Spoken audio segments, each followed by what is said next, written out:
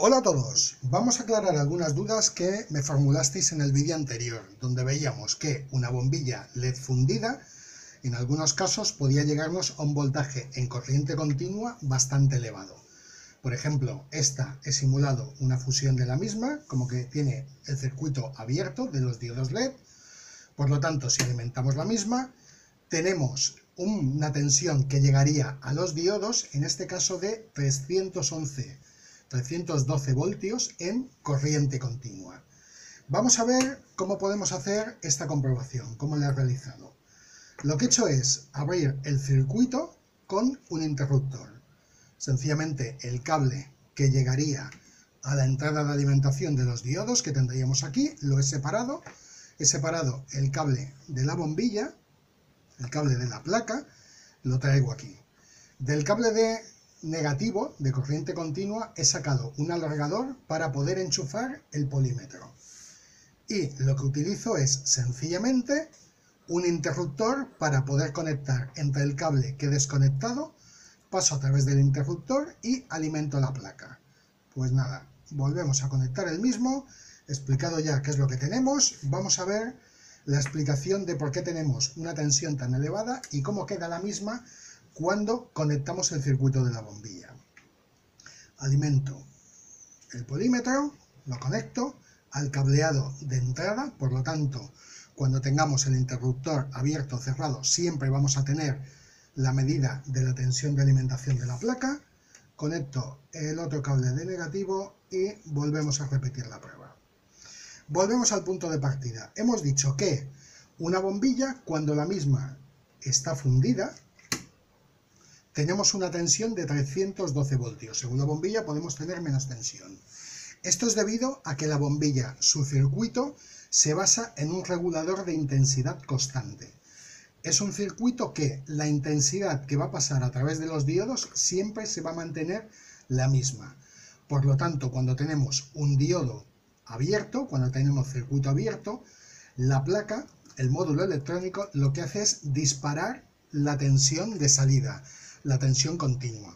En el momento de que el circuito funcione perfectamente, cierre y todos los diodos estén ok, esa tensión se reduce, quedando en un valor como vamos a ver ahora. Conectamos la bombilla y vemos que el valor de los 312 voltios se nos queda en 146 voltios, que es realmente el valor de voltaje que está sacando la placa electrónica. Ese valor de voltaje lo tenemos que dividir por el número de diodos que tenemos en la lámpara. En este caso, esta lámpara ya está reparada, tiene uno de los diodos que ya lo he sustituido, lo habéis visto en un vídeo anterior cómo se puede reparar la misma, pues la suma de todos es 17. Tenemos que, lo que hemos medido inicialmente, con circuito abierto, con un diodo cortado, o el cableado cortado, pero bueno, con un diodo, tenemos 312 voltios porque funciona el regulador de intensidad constante. El mismo intenta aumentar el voltaje considerando, por ejemplo, como que tuviéramos una resistencia interna en el circuito. Por algún motivo tengamos algún tipo de resistencia.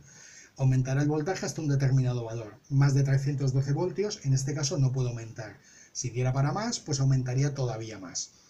En el momento de cerrar circuito, alimentar los diodos, la tensión se nos queda en 147 voltios, que dividido entre los 17 diodos que tenemos, nos da un voltaje de alimentación por diodo de 8,64 voltios. Voltaje por diodo. Por lo tanto, 8,64, la media de tensión por cada diodo es entre 8 y 9 o 9,5 voltios aproximadamente. Espero haber satisfecho las dudas que me había formulado de por qué se disparaba la tensión, explicado por el regulador de intensidad constante, cuál es la tensión real que funciona la lámpara, que me decís que siempre era inferior, efectivamente es una tensión inferior, cuando todo el circuito está cerrado y funciona correctamente, que dividido por el número de diodos, ya que no tiene ninguna resistencia en serie con ellos, nos da una tensión por diodo de 864 entre 8 y 9 voltios, 9,5 aproximadamente para esta bombilla. Para otras bombillas pues puede variar según el tipo de diodo que tenga.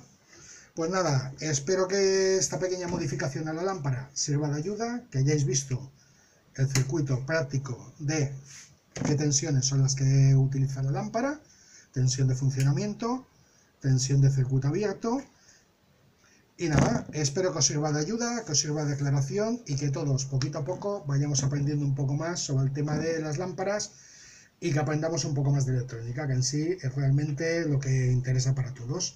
Un saludo a todos.